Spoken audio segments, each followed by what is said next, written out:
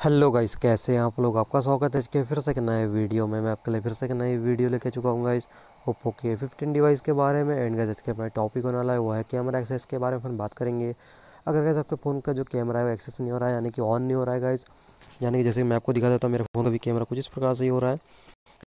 And पे कुछ इस प्रकार से अनब्लॉक का ऑप्शन आ रहा है, जैसे कि यहाँ पे आपको देखिए एंड गाइज़ आपके भी डिवाइस में अगर कुछ इस प्रकार से आपको प्रॉब्लम आ रही है कैमरा को ऑन करने में तो गाइज़ आपको कोई टेंशन की ज़रूरत नहीं है। क्योंकि मैं आपके लिए वीडियो लेके चुका हूँ, जिससे आप अपने फ़ोन के जो गाइज़ कैमरे सेटिंग की जो प्रॉब्लम थी आपको, वो सॉल्व हो जाएगी गाइज़ तो सिंपली आपको क्या करना पड़ेगा, मैं आपको आज के वीडियो में पूरी जानकारी दूँगा। तो चलिए आगे बढ़ने से पहले आप हमारी वीडियो को लाइक कर लीजिए एंड चैनल पर सब्सक्राइब कर लीजिए और बेल के आइकन को प्रेस कर लीजिए। अपन चलते हैं फ़ोन की सेटिंग में और बात करते हैं टॉपिक के बारे में गाइज़ सबसे पहले आपको देखिए अपनी सेटिंग को ऑन कर लेना है डिवाइस की। उसके बाद यहाँ पे आपको देखिए इस ऑप्शन मिल जाएगा। प्राइवेसी का इस पर आपको क्लिक करना है।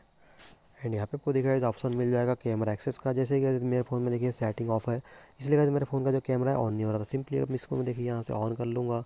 एंड गाइज़ मेरे फ़ोन का जो कैमरा है यहाँ से अब ऑन हो चुका है। देखिए अब मेरा फ़ोन का जो फ्रंट कैमरा है बैक कैमरा सभी हो चुका है गाइज़ ऑन ऑफ़ हो चुका है।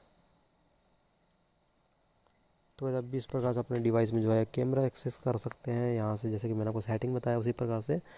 एंड गैस ऑन कर लीजिए अपने कैमरा एक्सेस को, अगर ऑन नहीं हो रहा है आपका तो। एंड गैस सेटिंग का भी मस्त ही वीडियो का अच्छा था वीडियो अच्छा लगे तो वीडियो को लाइक कर लीजिए। मैं आपसे मिलता हूँ नेक्स्ट वीडियो में नए टॉपिक के साथ। तब तक बाय बाय